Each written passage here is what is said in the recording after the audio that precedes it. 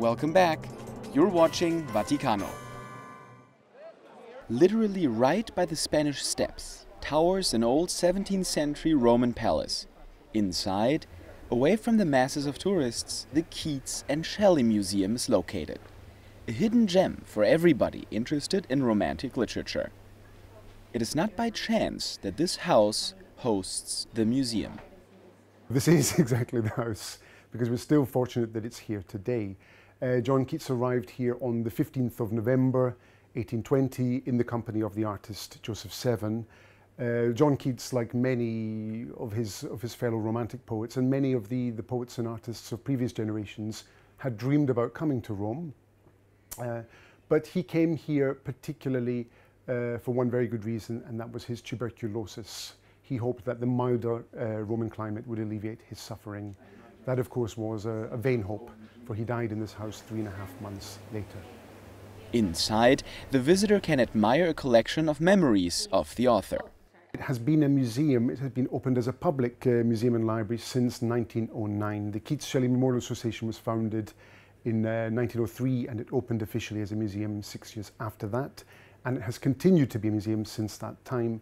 To this day, visitors can see many uh, books, first editions, manuscripts, uh, including letters as well as literary manuscripts of the poets, uh, but also portraits, uh, paintings, busts, sculptures, paintings, and also relics of things that belong to the poets, and indeed locks of hair, personal effects, things of that nature.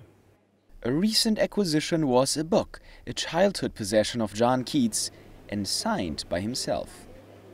Uh, Keats's childhood copy of Tacitus, the Orationes Omnes of Tacitus, which is a collection of the, the historical speeches that the Roman writer Tacitus put together.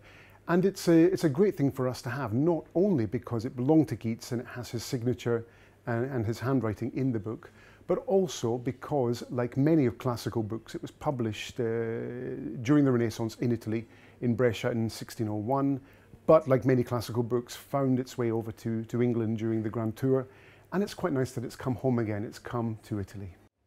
Another relic is kept in this apartment of yet another English poet, Oscar Wilde. Wilde, after a wild life, during which he had visited Rome multiple times and even had received a papal blessing by Pope Leo XIII, converted on his deathbed to Catholicism. The Keats House has an original handwritten letter from him. In the Keats House, old heritage is not just preserved, but brings poetry to life through a variety of events. We, we do many poetry readings, contemporary poetry readings, but we also do uh, academic and biographical talks as well around the poets and also by extension the relationships with Italy on the Grand Tour, on, um, on more academic matters as well. So we have good links with scholars, with writers, with historians, with biographers as well. But we also have an active temporary exhibitions program and we try to do at least one major exhibition every year